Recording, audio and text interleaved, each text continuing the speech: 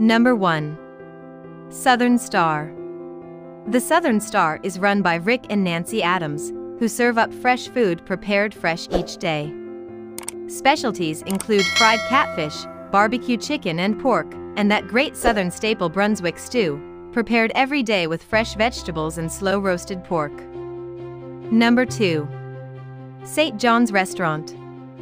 Based in the former St. John's Hotel building, which was subsequently used as a brothel before being abandoned, the restaurant uses only the local vegetables picked on the day of service and seafood caught within the previous 24 hours.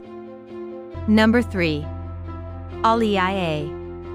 Alleia's chef Daniel Lindley serves up a fusion of rustic Italian cuisine with regional ingredients from the surrounding farms of Chattanooga.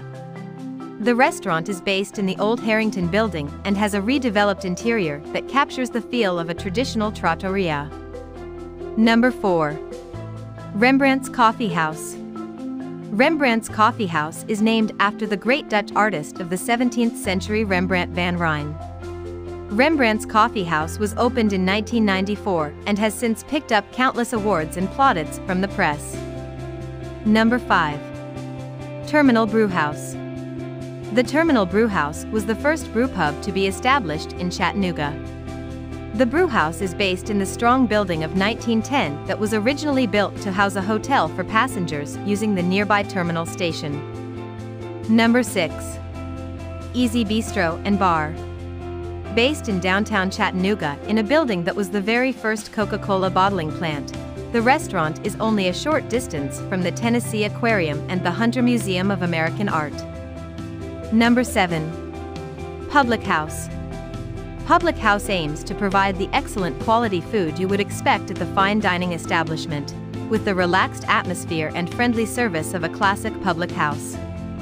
You can expect to find excellent cuisine with an emphasis on the link between supplier and restaurant. Number 8. Big River Grill.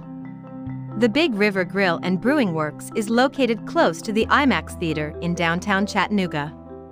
The concept behind the restaurant was inspired by the great produce and breweries that sprang up along the Mississippi and Tennessee rivers in the 19th century. Number 9. Pickle Barrel. Pickle Barrel is arguably Chattanooga's most iconic pub, located in a historic Flatiron building smack in the middle of city center.